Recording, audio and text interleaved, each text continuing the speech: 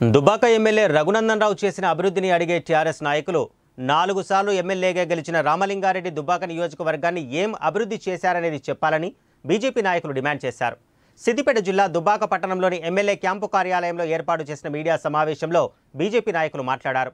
Dubbaka TRS నాయకులు వాస్తవాలను పక్కన పెట్టి ఎమ్మెల్యే రఘునందన్ రావుపై తప్పుడు ఆరోపణలు చేయడం సరికాదన్నారు.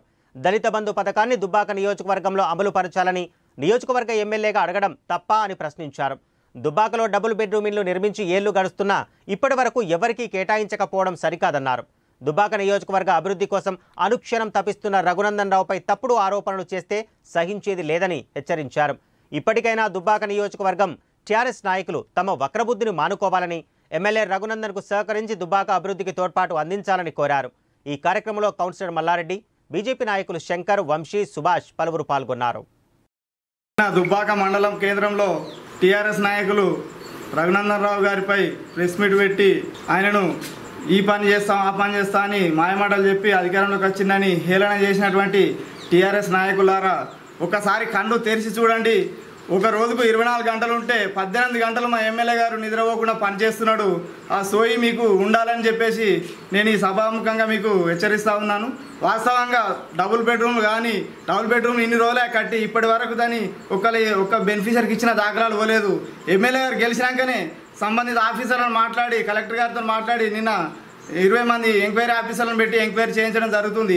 అలాగే కోటి రూపాయలు పెట్టి హాస్పిటల్కు రోడ్ లేకపోతే కూడా హాస్పిటల్కి రోడ్ మంజూరు చేసి నిన్న పని స్టార్ట్ చేయించడం జరిగితే మీ కళ్ళు చూడబుద్ది కాక మీకు ఎమ్మెల్యే గారి పేరు ఏడొస్తుందని చెప్పేసి కట్టెల పుల్ల ఎరికినట్టు మీరు దానికి అడ్డుపెట్టి కనీలేయించిన చరిత్ర మీరు కాదా?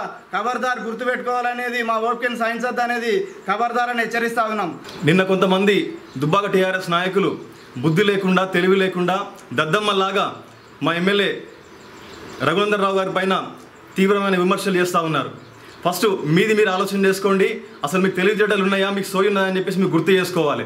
టీఆర్ఎస్ ప్రభుత్వం అధికారంలోకి వచ్చినప్పటి నుంచి ఇప్పటి వరకు దళితుల్ని మోసం చేయలేనటువంటి ఒక్క అంశమైనా మీరు చూపించగలుగుతారా? దళిత ముఖ్యమంత్రి నుంచి మొదలు నిన్నటి దళిత బంధు వరకు ఏ ఒక్క హామీని కూడా నిలబెట్టుకున్న పాపాన మీరు పోలేదు. అది పక్కన పెట్టి మళ్ళీ దళిత బంధు పైన మాకే శ్రద్ధ ఉన్నది మాకే చిత్తశుద్ధి ఉందని చెప్పేసి వల్ల మీరు ప్రగల్భాలు పలుకుతా ఉన్నారు. ఇది సరికాదు. మీకు అంత చిత్తశుద్ధి ఉంటే ఉంటే కనుక దళితుల పైన ప్రేమ ఉంటే కనుక మీకు సోయి ఉంటే కనుక ముందుగాల ఆ దళిత బంధు స్కీమ్ని దుబ్బాకలు అమలు పరిచే విధంగా మీరు మాట్లాడాలి.